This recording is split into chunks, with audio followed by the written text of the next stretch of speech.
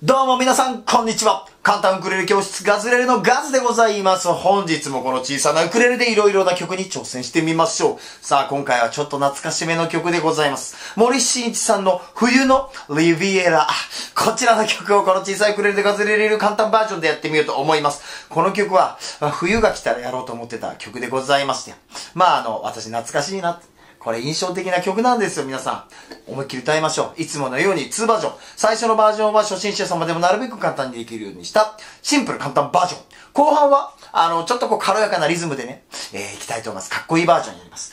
2バージョン、最後までご覧になってください。さあ、思い出の曲、あの季節になると頭をよぎるあの曲をですね、CD 聴いたりカラオケで歌ったりするのもいいんですけど、楽器と一緒に弾きながら歌う弾き語り、これ最高なんですよ。皆さんぜひ始めてもらいたいです。とはいって今からギターとかピアノとかちょっと大変で難しいですよね。で、ね、楽器もやったことないしなという方、ウクレレがありました。ウクレレは弦4本でね、まあ一言で言います。簡単なんですよ。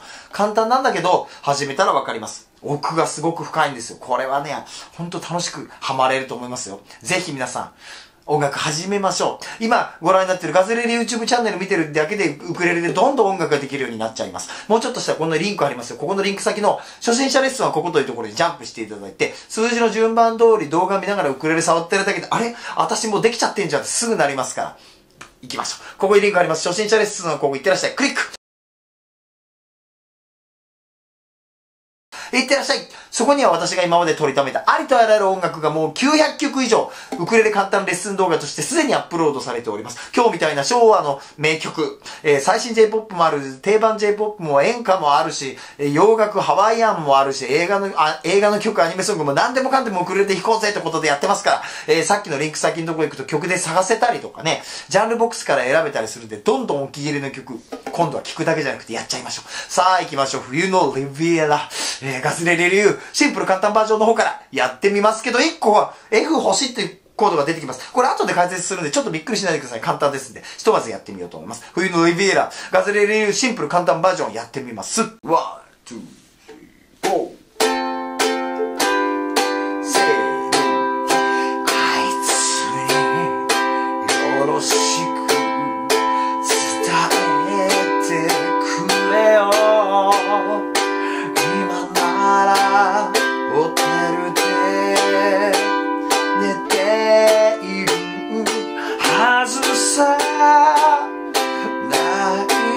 な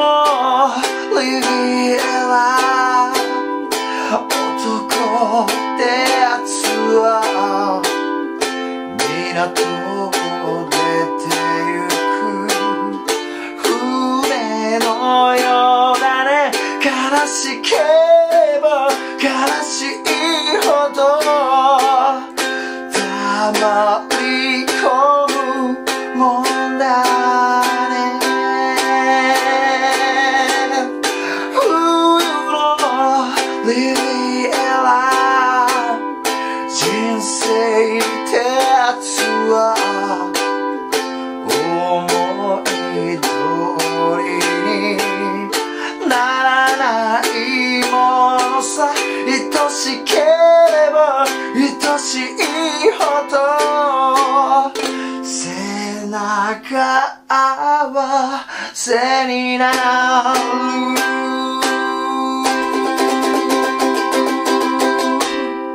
せーの森進一さんの冬のリビエラガズレレ流。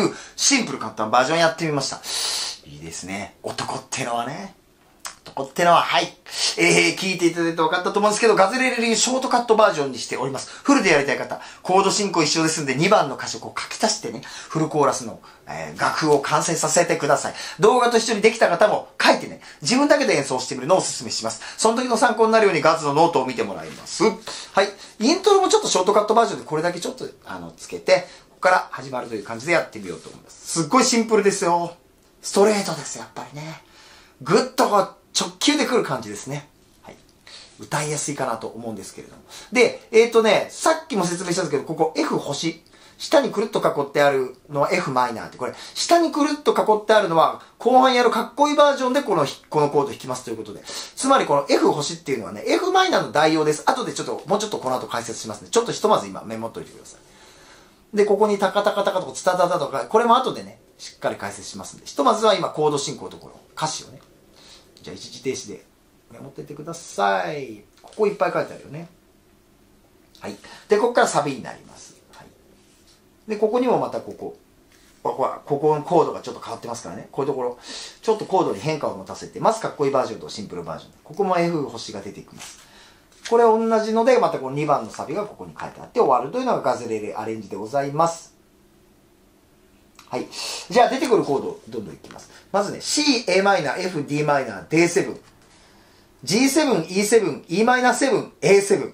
結構いっぱいあるよなと思いますよね。これプラス、さっき言ったこの F 星っていうコードなんですけど、この F 星はちょっと後で解説するんで、まず、ひとまず今述べた、これ、これね、このコードは、ここ、今これ映してる。はい、A7 まで。これはですね、えー、ガズレレでいうところのすごい入門コードのグループ、ドンこれです。ガズレレ必須コードのグループ内にあるコードすべてです。このガズレレ必須コードっていうのは一体何かというと、ウクレレで音楽をやろうと思った方、ウクレレにとってめちゃくちゃ、あの、便利で仲良しですごく助けてくれるコードのグループがあるんですよ。まずウクレレをやる方はこのコードを覚えてほしいということで必須になってます。10個ぐらいあるんですよ。全部、10個もある、あるんだなと思うけど、1個ずつ見たらめちゃ簡単。指1本のコードもあるし、あの、難しいコードはそこにはないないです。シンプルなんだけど、ただ10個いっぺんに覚えるときにちょっとコツがいるから、私が分かりやすい動画アップロードしてます。それを見て10個覚えましょう。はい、ここにリンク貼っておきます。楽しく覚えられます。はい、ここで10個覚えてくれる中の今日その中のメンバーですね。今日これコードいくつなんだろうか ?1、2、3、4、5、6、7、8、9、10、10個出てくるんですね。はい。で、さっきから出てきてるこの噂の F 星というコード。これはね、本当は f マイナーというコードかっこいいバージョンで使いたいんですけど、これがちょっとね、初心者さんに押さえづらいんですよ。なんで、これを抑えられる方はこれもちろん f マイナーの方がいいんですけど、ひとまずこの F を欲しいっていうのは、これを抑えるためのちょっと初心者向けの代用コードです。一言で言うと、C と F を一緒に抑えるっていう、それ、ただそれだけのことです。よく見てくださいね。えっ、ー、とね、C っていうのは、ここ1個だけなんですよ、コードで。F っていうのは、こことここの2箇所こうやって押さえる。で、ここ、つまり、F と C を一緒に押さえるわけだから、F と C、薬指か小指、数は小指ですね。こんな感じの音。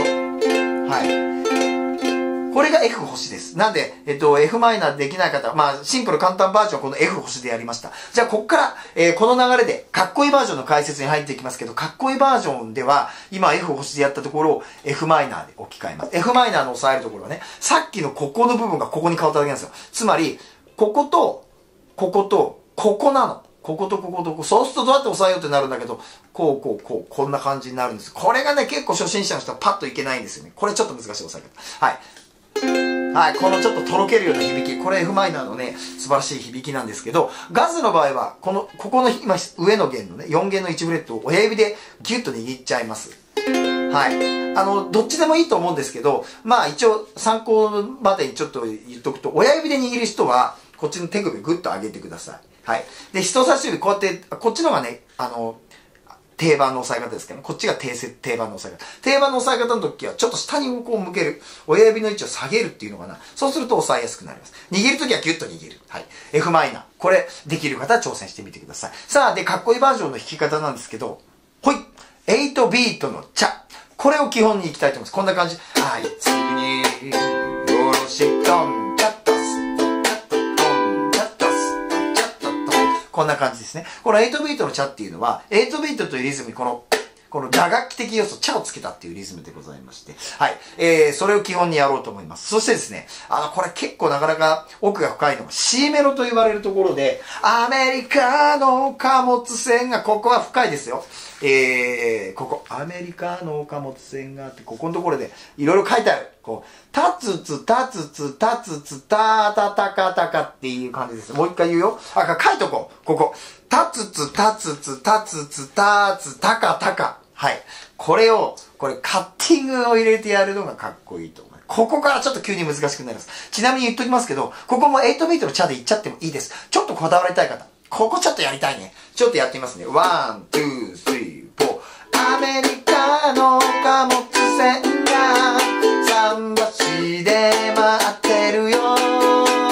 感じです。ダツツダツツダツツタタタカタカダツツダツツダツツタタタカタカ。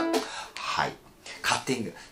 タツツダツツ。はい。タッと引いて、左手でパッと止めるでしょ。音こう触って止めるときにカチャッとがす。はい。浮かんでるわけ。これをカッティングと言います。カッティング。これで、タツツタツツタツツタツタタタタ。はい。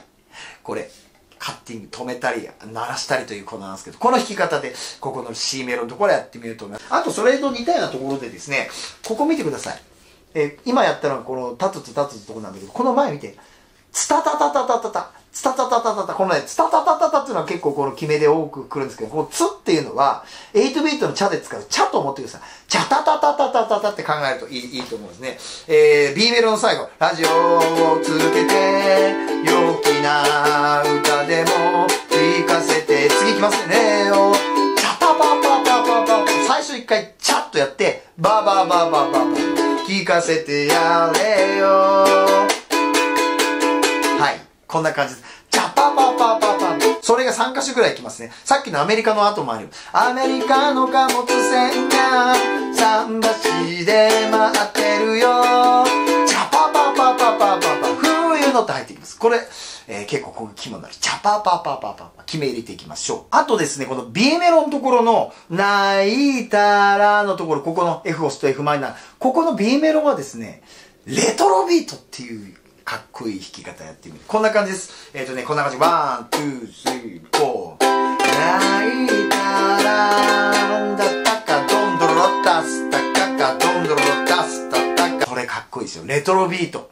この弾き方も入れてみましょう。というわけでこの曲はですね、8ビートの茶、レトロビートとカッティング、この3つの弾き方でやってみようと思います。はい。この3つの弾き方、ここのリンク、見てください。このリンク先は、ウクレレでできるリズムのいろいろというガゼレレホームページの1枚で、その中から8ビートの茶と、えー、レトロビートとカッティングの動画を見ながらマスターしてください。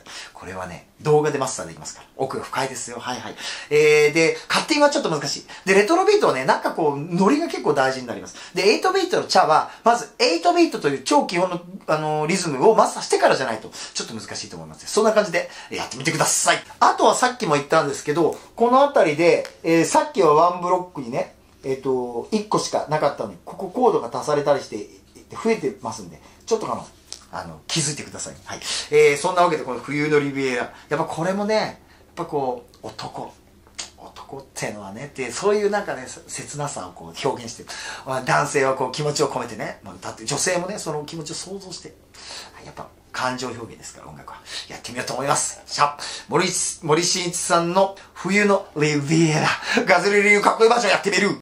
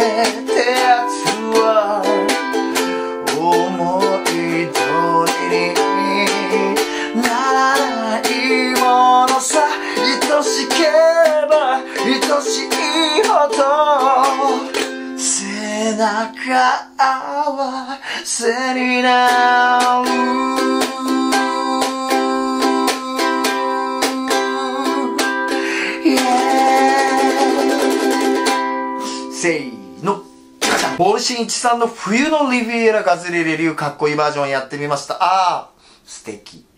男ってのは、そんな感じでございます。やっぱりね、グッときますね。はい、感情を込めて、冬、歌いたい曲です。ありがとうございました。皆さん、どんどん歌っていきましょう。さあ、ガズレレですけど、この小さいクレレ持って世界中に駆け巡ってイベントしておりますということですけど、実はですね、本日これから、恵比寿ガーデンホールで行われる、メルカリキミカというサザンオールスターズ関口さん主催のウクレレイベントに、これから出るもので、今、公開できるイベントってちょっとこれで終わっちゃうんですけど、来年、実はですね、まだ公表ができないんですけど、ものすごいイベントが盛りだくさんなんですよ。ちょっとあの、フォローしといてくださいね。YouTube チャンネル並びに SNS ホームページで、え大公開していきますんで、よろしくお願いします。そういうわけで、まず、ホームページご覧になってください。ここにリンク貼っときますからね。ぜひご覧になってください。もう本当によろしくお願いします。はい。えー、あとそうだ、なんで、今のうちにときましょう。チャンネル登録まだの方、ぜひお願いしますね。どんどんお知らせ、新しい、もうほぼ毎日アップロードしてますから。よろしくお願いします。あと、このちっちゃいウクレレのお知らせ。これガズがいつも使ってるこのね、コンあの、コンサートウクレレと、コンサートウクレレ、コンサートウクレレここにある。これね、コンサートウクレレもあるんですよ。これ大きいサイズ。これとこのソプラノウクレレ。これね、ガズのわがままウクレレ。これがですね、今、こっちの方もね、今、あの、完売状態でございますんですけれども、これ、次の入荷お知らせ、えー受け取れるシステムになってますんで、ちょっとこのウクレレのこと知りたい方、ここリンク行ってくださいね。よろしくお願いします。本はいっぱい出てますから、本屋さんとか楽器屋さんに行ったら私の顔顔がいっぱい出てきます。